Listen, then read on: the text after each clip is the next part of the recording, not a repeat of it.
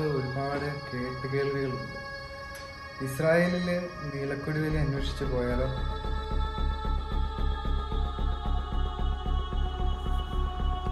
വിശ്വാസികളായ യഹൂദർ കൂട്ടമായി താമസിക്കുന്ന സ്ഥലത്തു കൂടിയാണ് ഞാൻ നടക്കുന്നത്. എനിക്കിവിടെ ചെമ്പോത്ത് അഥവാ ഉപ്പനെ കാണാൻ സാധിച്ചു. ഞാൻ അതിന്റെ പുറകെ നീലക്കൊടുവേലി അന്വേഷിച്ചുള്ള യാത്രയിലാണ്.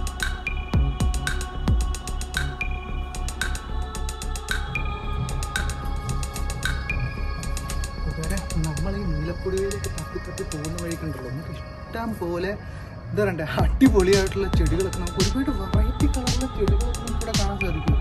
എന്തൊക്കെ സാധനങ്ങളാണ് നിൽക്കുന്നത്? സത്യത്തിൽ ഈ ഞെട്ടിപ്പോയി.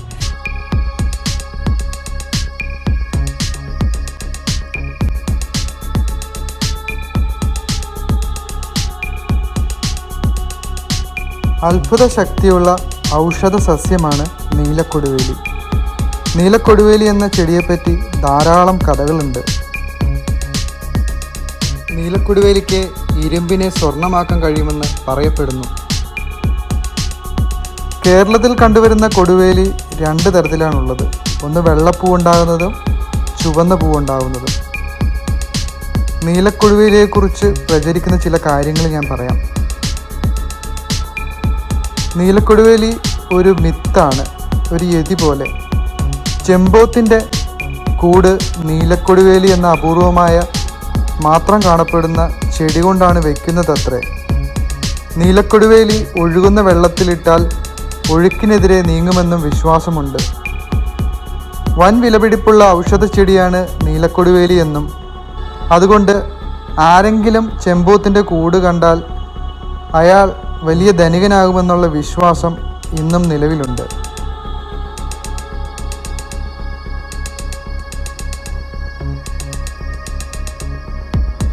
വെള്ളക്കൊടുവേലിയും നീലക്കൊടുവേലിയും വീട്ടിലുണ്ടായാൽ എന്നും ഐശ്വര്യമുണ്ടാകുമെന്നാണ് വിശ്വാസം.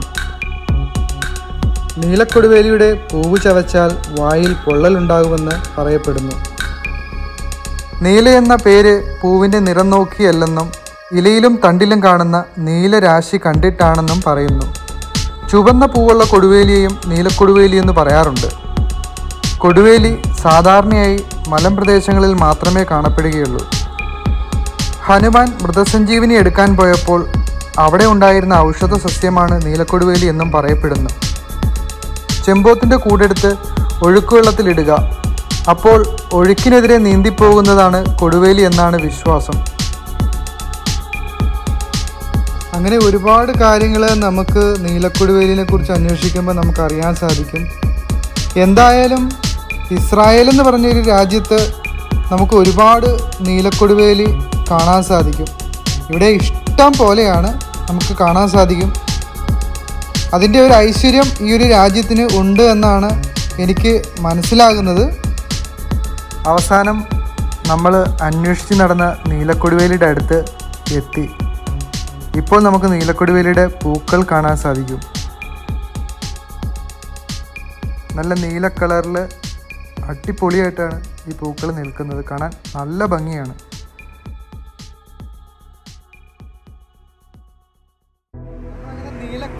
അടുത്താണ് നമ്മളിപ്പോൾ എത്തിയിരിക്കുന്നത്. ഈ കാണുന്നതാണ് ഈ ഇത് എന്താ പറയട്ടെ നീലക്കൊടുവേലിയുടെ കാട്ടിലാണ് ഞാനിപ്പോൾ എത്തിയിരിക്കുന്നത്. ഇതിനകത്ത് ഫുള്ള് കാട് പിടിച്ചെടുക്കുക നമ്മളെ ആ ഉപ്പനെ ഇങ്ങനെ നോക്കി നോക്കി നമ്മൾ അവസാനം നമ്മൾ എത്തിയത് ഈ നീലക്കൊടുവേലിയുടെ കാട്ടിലാണ്. എന്തായാലും ഇസ്രായേൽ ഇത്ര സമ്പന്ന രാജ്യമായത് ഒരു പക്ഷേങ്കിൽ ഈ നീലക്കൊടുവേലിയൊക്കെ കാരണമായിരിക്കും അല്ലേ? അല്ലേ? ഇത് നോക്കി.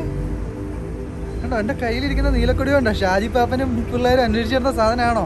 എന്തായാലും ഇതിന്റെ ഒരു കമ്പ് ഞാൻ എടുത്തുകൊണ്ട് പോവുകയാണ്. നട്ട് നോക്കാൻ വളരുമോയെന്നറിയാം ആഹ്, ഒരുപാട് കിടക്കുവാണ് ഇസ്രായേൽ എന്ന രാജ്യത്ത് ഒരുപാട് നീലക്കുടുവേലി ഇങ്ങനെ കിടക്കുന്നുണ്ട്. ഒരു പക്ഷേങ്കിൽ ഇതൊക്കെ ആയിരിക്കും ഇതൊക്കെ ഇവിടെ കിടക്കുന്നതുകൊണ്ടായിരിക്കും ഈ ഒരു രാജ്യം ഈ ഒരു കുഞ്ഞു രാജ്യം ചുറ്റിനും എന്താ പറയേണ്ട ശത്രുക്കളാൽ ചുറ്റപ്പെട്ട് കിടക്കുന്ന ഒരു രാജ്യമാണ്.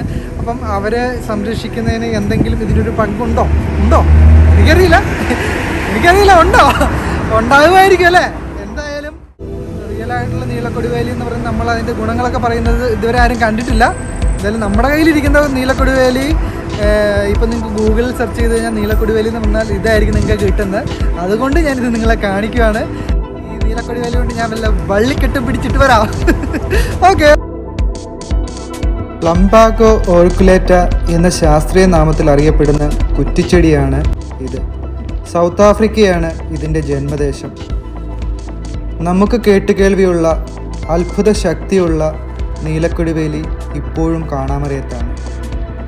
അത് തേടിയുള്ള യാത്രയിലാണ് പലരും ഈ ഞാനടക്കം. കാട്ടിലും പള്ളിയിലും കയറിയതുകൊണ്ട് ഇതാണ് ഇതൊക്കെ എടുത്ത് കളയാൻ വേണ്ടിയിട്ട് ഞാൻ വരാം. ടീമുകളൊക്കെ വിളിക്കേണ്ടി വരുമായിരിക്കും. അപ്പോൾ അടുത്ത വീഡിയോ ആയിട്ട് വീണ്ടും കാണാം. അതുവരേക്കും ബൈ ബൈ.